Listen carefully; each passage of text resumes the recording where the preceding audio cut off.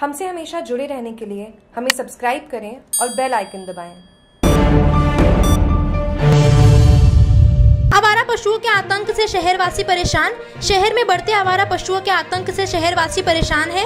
उल्लेखनीय ये है कि शहर के हर गली मोहल्ले में सांडों के विचरण एवं सार्वजनिक स्थलों पर इन सांडों की आपस में भीड़ जाने के कारण वहाँ से गुजरने वाले राहगीर एवं आसपास के रहने वाले लोग इनकी चपेट में आकर चोटिल होते रहते हैं। वही इन आवारा पशुओं की चपेट में आकर कई लोग अपनी जान गंवा चुके हैं। तो कई लोग आज तक बेड रेस्ट कर रहे हैं। तो कई लोग अपने हाथ पैर तुड़वा कर अपाहिज बन चुके हैं। शहरवासियों द्वारा कई बार उपखंड अधिकारी नगर पालिका अधिकारी को इस बारे में ज्ञापन देकर आवारा पशुओं को पकड़ने की मांग भी कर चुके हैं, परंतु प्रशासन की ओर से कोई ठोस कार्रवाई नहीं होने के कारण हर रोज कोई न कोई इन जानवरों की चपेट में आकर घायल हो जाता है। ऐसा ही वाक्य मंगलवार शाम को उपखंड कार्यालय के सामने देखने को मिला, जहाँ दो आवारा सांड आपस में भिड़ गए तथा इन आवारा पशुओं की इस भयंकर लड़ाई को देखकर राहगीरों की भी साँसें थम गई और वो स्वयं के बचाव के लिए इधर उधर भागते नज़र आए। शहर में यहाँ पर लगा रहता है आवारा पशुओं का जमावड़ा। शहर के bus stand Rajpol gate, police थाना रोड, नयापुरा कोट का मोहल्ला, सब्ज़ी मंडी, स्वामी विवेकानंद मार्ग